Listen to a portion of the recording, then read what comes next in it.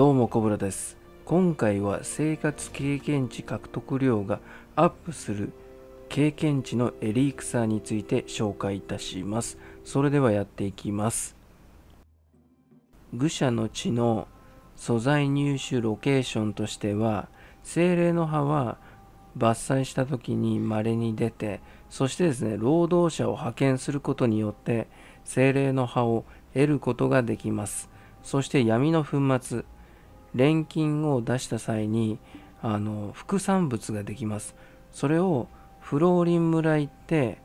そこでですね交換することができます。先ほど入手してきた愚者の血の素材を投入していきます。愚者の血に関して言うと大量に作っておいて損はないと思いますんでまあ素材があったらですね大量生産した方がいいと思います。経験のエリークサーの入手ロケーションとしてはたてがみ草は比較的手に入れることができます。炎の粉末は労働者に派遣させることで炎の粉末を得ることができます。銅の鉱石を掘るとですね自分の最終レベルが高ければ高いほど低確率で炎の粉末を入手することができます。松の樹液はトレント村で行けばあります。そしたらですね先ほど入手してきた、えー、素材をですね投入していきます。これで経験のエリクサーを作成することができます。大量生産しても損はないアイテムなので大量生産した方がいいと思います。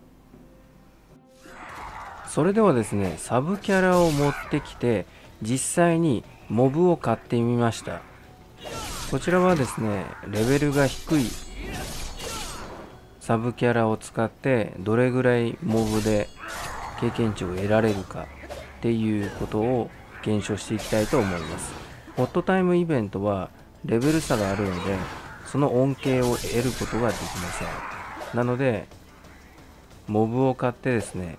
ちょっと検証していきたいと思います。これはですね経験のエリクサーがついていない状態となります。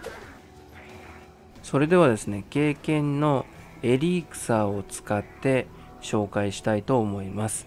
経験のエリクサーだけのバフでどれぐらい稼げるかっていう風な検証したいと思います。こちらのモブを買った感想を言うと若干ですが少しずつ上がってるのではないかなっていう風な感じがします。本を使ってない状態でやっています。今回は戦闘経験値獲得量が上がる経験のエリクサーについて紹介いたしました。この動画が良かったらチャンネル登録していただけると助かりますということで皆様本当にお疲れ様でした。